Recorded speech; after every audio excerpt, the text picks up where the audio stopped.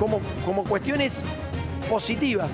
En el anterior gobierno, en de Alberto Fernández, había periodistas que respondían a Alberto Fernández y defendían que vos comieras pan duro y te explicaban cómo vos podías ablandar el pan, el pan duro. O sea, tenías que mojarlo, meterlo en el microondas y no sé cuántas estupideces más.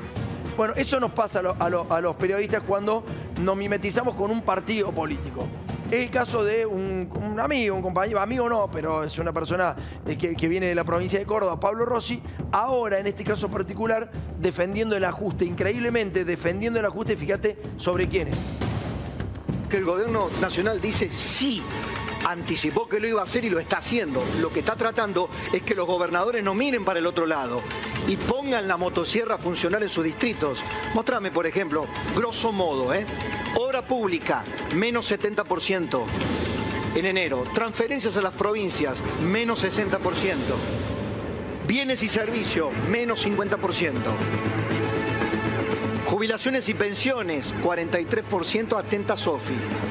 43%. Programas sociales, menos 41%. No obstante, se mantienen algunos subsidios y algunos han incrementado los de subsistencia. Es importante escuchar cómo empieza el tema, porque lo, agarramos morbido. Eh, porque parece una crítica de Rossi hacia el ajuste. No, no, no, al contrario. El tipo dice, el gobierno había prometido esto y está bien. Y este, eh, este es nuestro apoyo hacia el gobierno.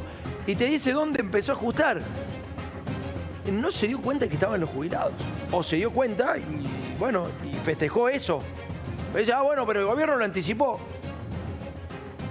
¿Qué es eso? O sea, sí, sí lo anticipó, la verdad que sí. Sí, lo dijo. Dijo, dijo que iba a ajustar. Yo, no- los jubilados, digo, eh, si lo votaron, digo, votaron este, este esquema y este modelo. Capaz que ahora se están dando cuenta de qué se trataba el ajuste. Pero bueno, en, en el comienzo Rossi empieza diciendo, che, que viene el gobierno. Mirá, ajustó en esto, en esto, en esto, se le sacó guita a los jubilados. Y él dice que más del 40%. Cuando alguien ama a un gobierno, ama aún cuando castiga al propio pueblo.